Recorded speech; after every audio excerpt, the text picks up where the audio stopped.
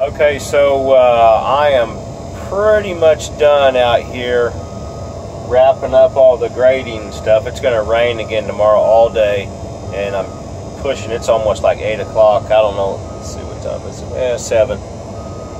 And uh, anyway, so I pretty much got everything wrapped up out here as far as the grading stuff is concerned. You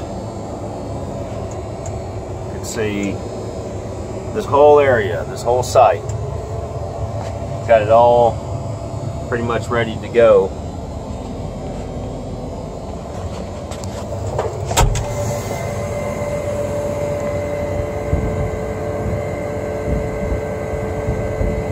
It's like 17 acres. So, so anyway, the framers are getting ahead of the pack. You can see I was able to deal with my problem with the skid steer and everything, and um, so I'm getting ready to wrap this one up. I might need to come back and do some backfill, that kind of thing. But outside of that, that's it. Let's take a look at these controls here a little bit. Okay, this one here is the blade shift. This is the side shift for the entire blade.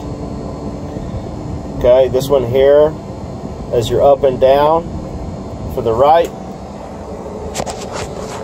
This one here is up and down for the left. Here's your tilt wheel right there. This is for the uh, the rear end, the ass end of it. You can see there. So you just twist it like this. Okay, and then if you want to get it back to center, you just hit that button and it'll bring it back to center. Here is your forward and reverse. Right there's forward. Okay, reverse. And then your shift gears up six speeds, I think. And then down. This stuff here is for Jeep, other different controls and stuff. I don't, I don't use that. This here twist is to for the circle. Okay, and then tilt down, tilt up, tilt down, tilt up, side shift, and then let's see, I think that's it. Yeah, and then of course your parking brake. In order to get this thing to run, um, you got to start it and let it sit for a minute, let it go through its functions, and then sometimes you have to move the tires back and forth I think I forgot to show you that. There's the tires back and forth. And then um, your four-wheel drive is up here, your front. Okay, that's for your front axle. I always just do it uh, on this side. I don't ever use the snail. That way it's engaged with everything else that's going on as far as speed and everything. Here's your rear locking differential. I have it set to auto. I don't need that on anymore.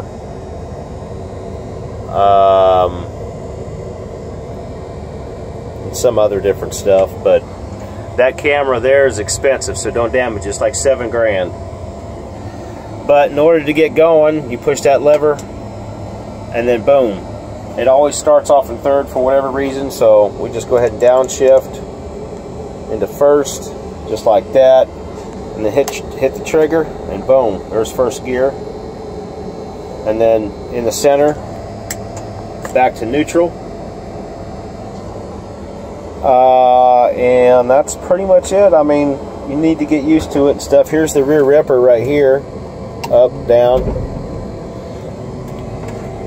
if you can see that sucker back there or not.